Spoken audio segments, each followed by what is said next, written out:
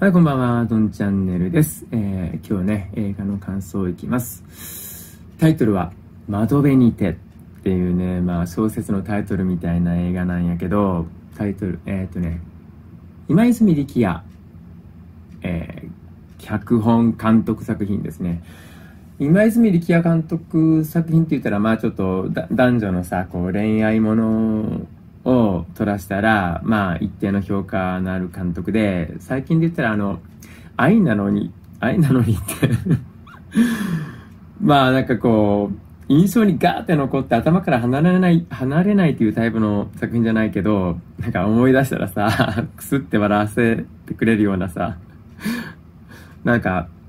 まあまあ楽しい作品を撮る監督でね、まあ、映画サイトの評価もね、まあ、4.0とか4.1とかね。まあ、現、現段階でも高評価がついていて、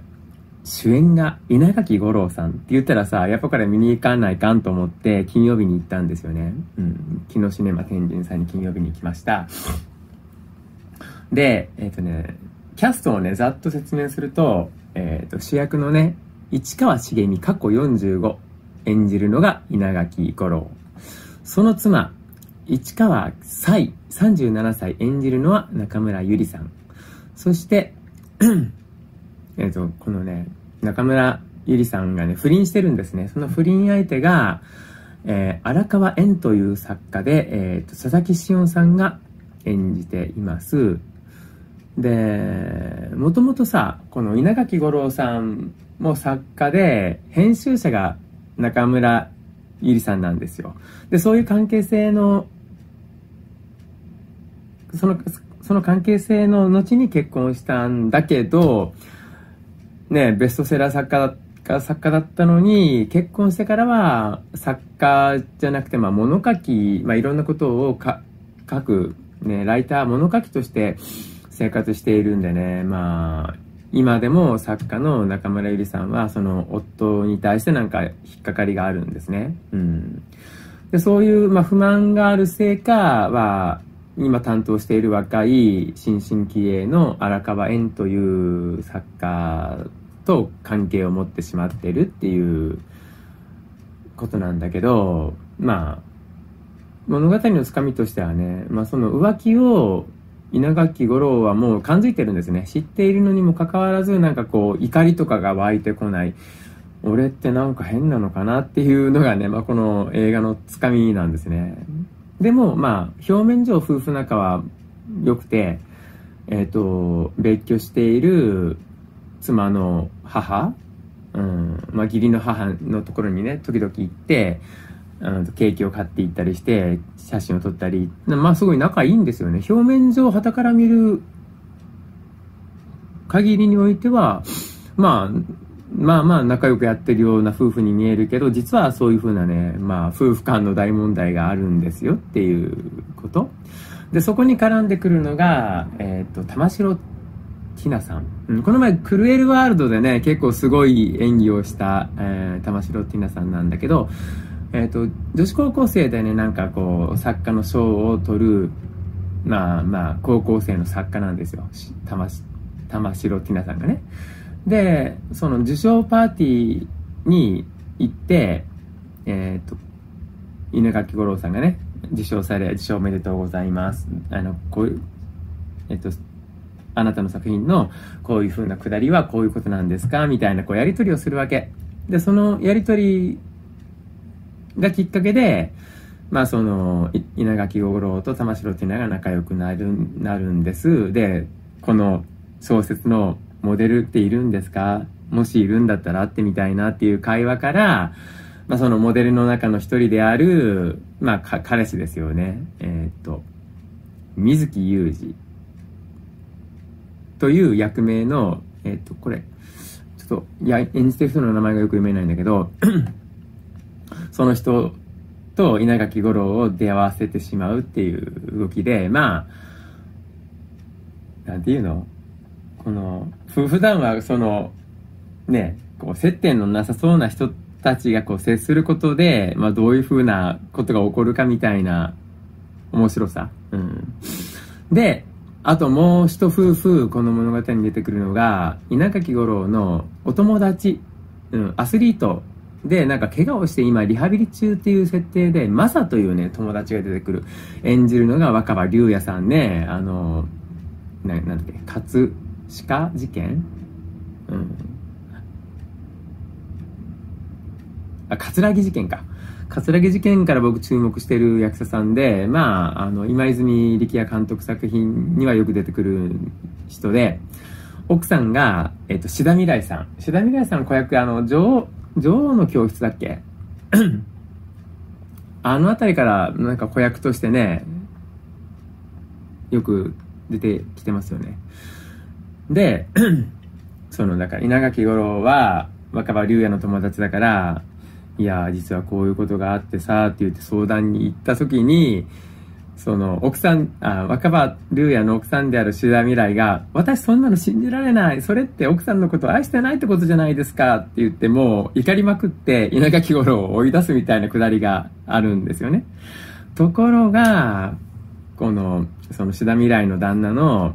若葉龍也も浮気していて、その浮気相手が、えー、っと、藤沢夏っていう人なんだけど、なんとか萌香さん？うん。で、自分、自分は旦那に浮気されてるんだけど、まあ子供もいるし、その、正面切ってね、ポーンとこう、言い出せない。うん。まあそういうところって、なんか面白いなと思って見れたりするんですよね。で、えー、っとね、まあそういうふうなことがね、まあいろいろ吸ったもんだが続くんだけど、結局これって何が言いたいのかなって思いながら見ていて、うん、まあ、小説だったらさ、あの、紙の本だったらさ、こう、前の章から見返してみたりさ、まあいろいろこう、考察することができるんだけど、映画って勝手に進んでいってさ、まあ俺の都合で止めることはできないから、なんかこう あれが陰油とか勧誘なのかなとかいろいろ想像を巡らすんだけどはっきりこうわかんないまま、まあ2時間ぐらいが進んでいくんですね。んで、ラストシーンに近づいた時にね、あるタクシードライバーが言うんですよ。お客さん、まあ、お、面白たっちゃんでしたっけ？面白たっちゃんとかタクシードライバーが言うんだけど、パチンコってすごい贅沢な遊びと思いませんか？だって、お金と時間、両方いっぺんに消費しちゃうんですよね、みたいなことを言われて、ああ、なるほどねって。で、それで稲垣吾郎パチンコに行くんですよ。で、ビギナーズラックで大当たりして、まあ、ドル箱をこう積み上げていってるんだけど、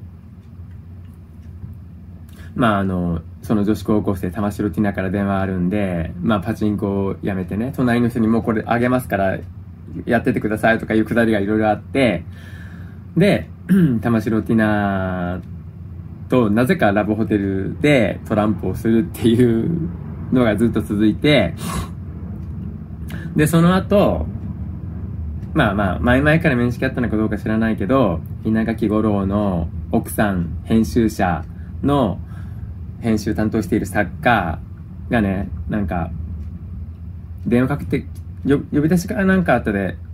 喫茶店で会うんですよ。で、彼は、2、3日で書き上げたという新作の原稿をね、稲垣吾郎に渡すんですよ。まあそれは自分の浮気相手の旦那って分かっていてそういうことをやってるんですね。で、で結局その小説は、その多分不倫関係を綴ったものなんでしょうね。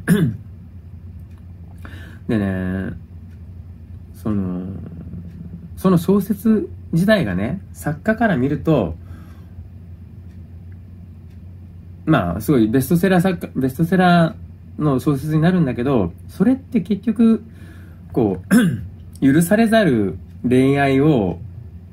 書いた小説で、小説としてはすごい評価が高いものなんだけど、まあその小説は自分からしたら、書いた方からすると、その関係性が終わったから書けたんだって書い書いたらその関係性って終わるんですよって終わったような気がしますみたいなことを言うんですよね。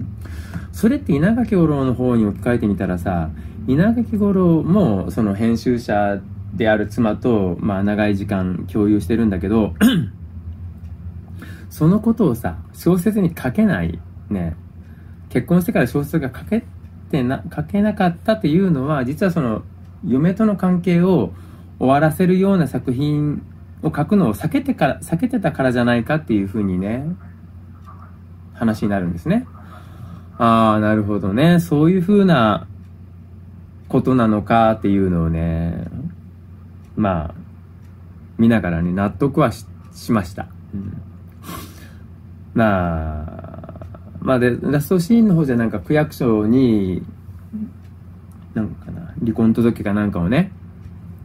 取りに行くとかいうシーンもあって、ああ、結局は別れちゃうことになったんだなっていうふうなことをね、思いながらね、まあ、まあ物語はさ、誰が誰をギャーギャー言って責めるでもなくさ、うん。さらっとまあこんなことがありましたみたいな感じで終わっちゃうんですね。ああ、これって、なんかこう、小説を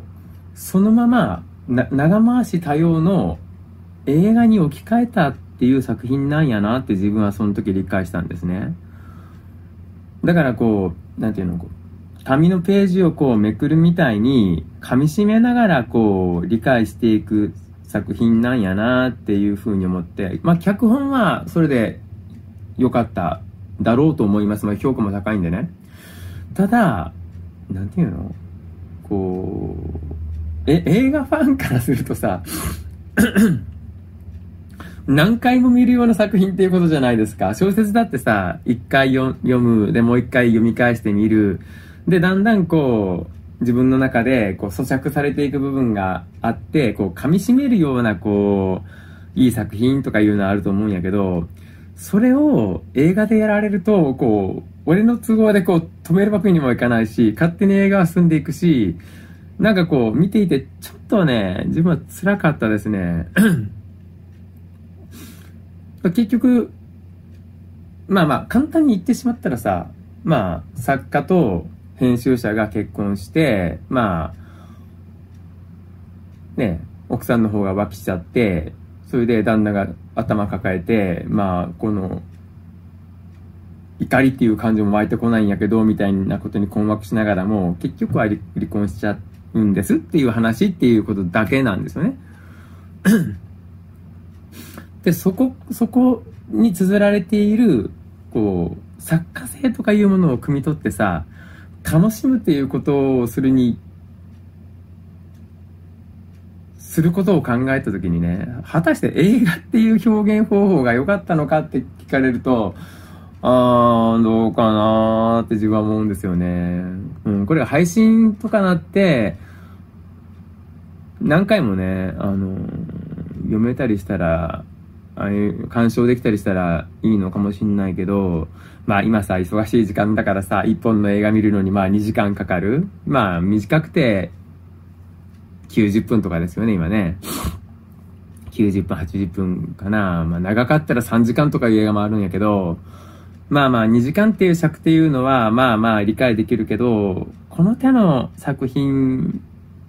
を見せるにあたっては、ちょっと間延びしたシーンが長かったりするのはね、なんか正直ちょっと辛いかなって、なこの、このシーンで何が言いたいのかな、もう次行こうみたいなことをね、頭の中で言いたくなる見方をしちゃう僕は、僕にとってはちょ、ちょっとこう辛かったかなっていうような正直なところ。役者さん、おのおのの演技とかはね、別に 何も問題はないし、まあ、作品としてはね、ああ、なるほどね、とは分かったけど、もっとなんかこう、噛み締めるようなさ、なんかこう、意味の取り込み方をしたかった自分としては、薄かったかな。小説で読ませてもらった方が良かったのかなっていうふうに思いました。はい、最後まで見ていただきましてありがとうございます。またのご視聴お待ち申し上げております。失礼します。